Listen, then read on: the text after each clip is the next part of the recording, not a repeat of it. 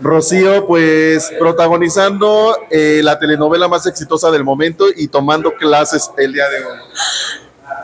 Ay, bueno, no sé si se vea, pero se me puso la piel chinita de wow. Sí, o sea, estoy protagonizando la novela de las ocho y media, está padrísimo. Eh, ahorita estoy cansada, agotada, sudada, se me enchinó el pelo. Estuvo buena la clase, estuvo divertidísima, me encantó. Estoy muy feliz, eufórica y ay, ya quiero, quiero ir a mi casa a desayunar. Justo necesario sacar un poco de estrés de, pues, de la presión que le significa estar a las 8.30. ¿no? Ay, sí, bueno, fíjate más que la presión de las 8.30 de seguir grabando y, y la semana que viene ya es nuestra última semana y poder tener justo esos espacios para poder convivir con mis compañeros está padrísimo, está hermoso, porque aparte pues fueron, eran puros policías aquí, mano, eran puros policías y estuvo, estuvo divertido porque en realidad nunca estoy con ellos en la novela, porque nunca nos atrapan, o sí nos atrapan. Entonces como que nunca conviví con ellos porque eran como tres novelas diferentes, era como las fugitivas, los policías, bueno, la comandancia, los ricos, entonces como que nunca pude estar con ellos y poder estar ahorita viéndolos sudar y sufrir, digo, mm, muy bien amigos, muy bien.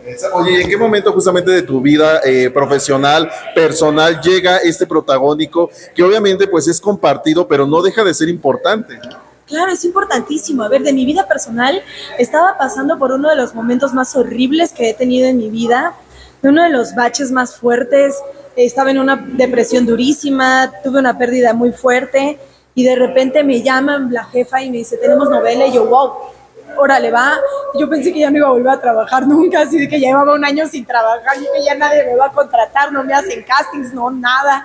Y de repente, pum, vamos a empezar novela. Dije, bueno, empiezo a leer los libretos y de repente llego a diseño de imagen y eres Lisette. Y yo, ¿cómo que Lisette? ¿Lisette protagonista? Y yo, wow. O sea, para que vean, ¿no? O sea, yo viendo todas las cámaras. Siempre hay una luz en el camino, ¿no? Y no, no se cansen de luchar por sus sueños y de perseguirlos porque los sueños sí se cumplen.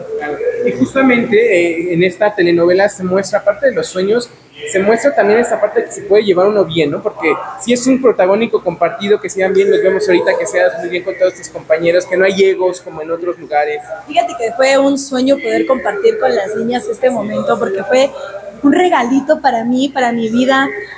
Somos tan diferentes. Yo tenía mucho miedo al principio, ¿no? Dije, híjole, las mujeres somos bien difíciles. Y luego mujer actriz, no, luego no me venga. Somos tan diferentes que nos complementamos tanto. Bueno, lo van a ver en nuestros, en nuestros personajes, porque los personajes también son súper diferentes, como han podido ver. Y, y ha estado tan padre porque nos complementamos, nos hicimos amigas, hicimos equipo, hicimos familia.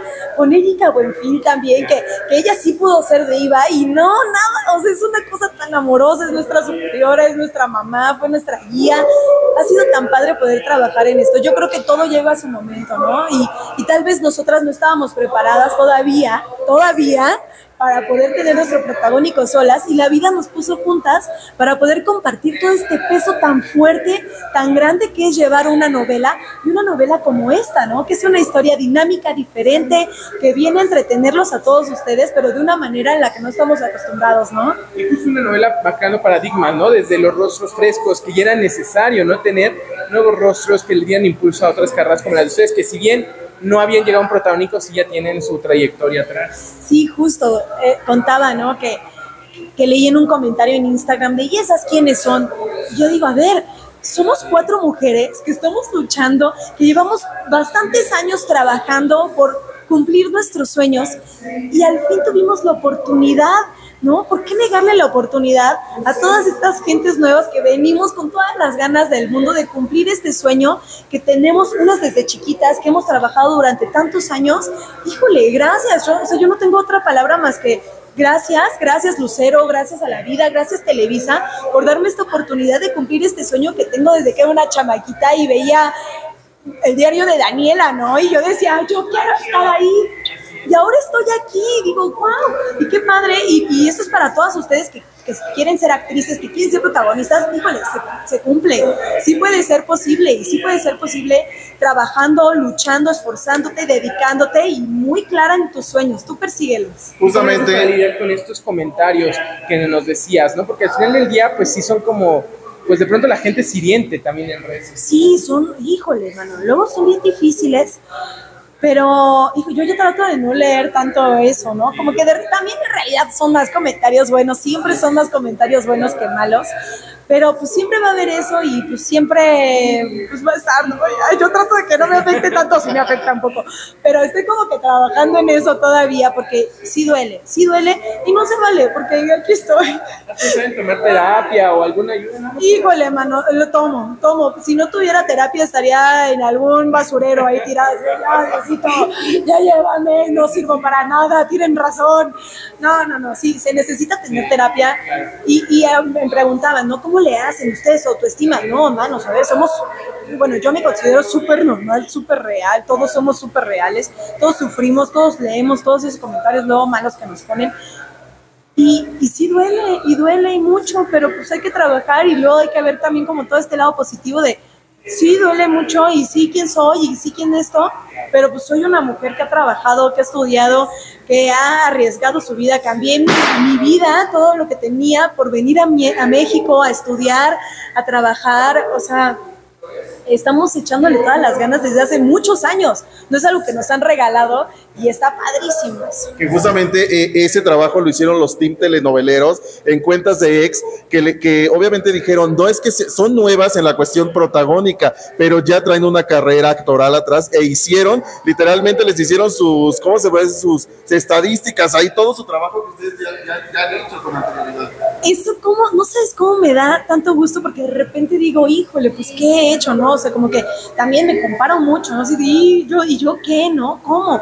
Pero sí, o sea, he, he trabajado muchísimo, Daniel ha trabajado muchísimo, Marlene, Sachi, no manches, les voy a contar una anécdota súper linda, ¿no? Porque fue di- diseño de imagen, el día que conocí a Sachi, a Marlene y a Dani, este, y de repente me voy con Sachi, que Sachi yo le he visto en las novelas toda la vida, o sea, toda la vida. Sachi me lleva 10 años, literal, ¿no? Y, de repente vamos caminando por los pasillos de Televisa, se le empiezan a salir las lágrimas a Sachi y me dice, Chío, ¿te estás dando cuenta que somos protagonistas?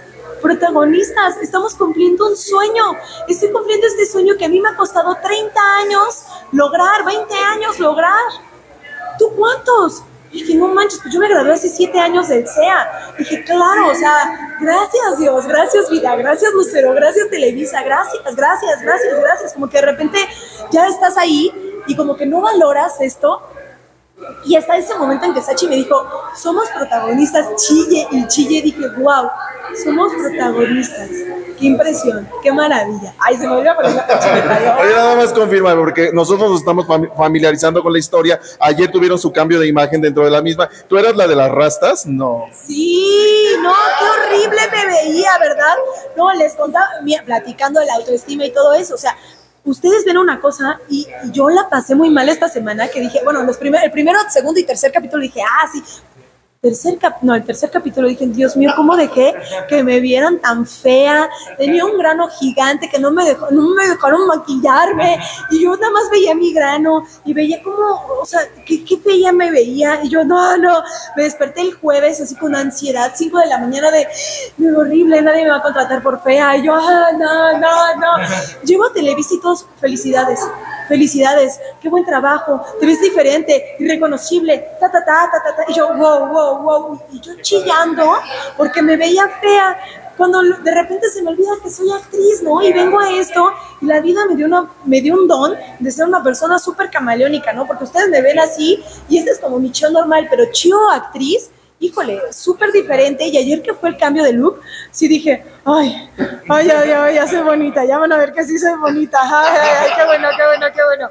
Pero sí, híjole, eso es una lucha de, ah, constante con, los- con nosotros. Bueno, yo en lo personal que, que digo, híjole, mana, sí tengo que echarle más ganas a mi autoestimita porque... La vanidad, ¿no? De buscar La ¿no? vanidad, sí, me llegó duro, me llegó duro.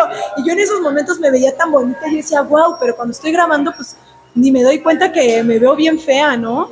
Y, ay, bueno, pues ya. Entonces, muchísimas gracias, Rocío. Mucho éxito con Fugitivas. Muchas gracias a ustedes y no se pierdan Fugitivas a las ocho y media por el canal de las estrellas. Perfecto. Gracias.